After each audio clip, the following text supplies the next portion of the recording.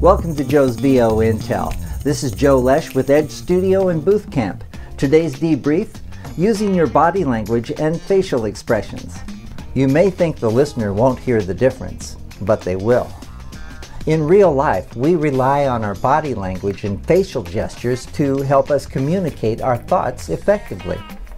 If we spoke without body language and facial gestures, we would sound stiff and contrived.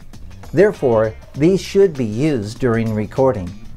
Ironically, inexperienced voice actors often do not use body language and facial gestures when recording, as they feel they would look unprofessional moving all about in front of the microphone.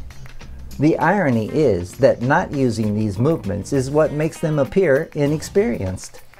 When you're conscious of using body language, it will feel odd, uncomfortable. Practice is the key. Practice will remedy this issue. Send your voiceover questions to me at vointel at edgestudio.com. I would love the opportunity to work with you in your hometown. Visit boothcamp.net to learn more about my full day workshop for voice actors at all levels and see how easy it is to have Boothcamp come to you. This is Joe Loesch from Edge Studio and Boothcamp, and I'll see you next week with a brand new debrief.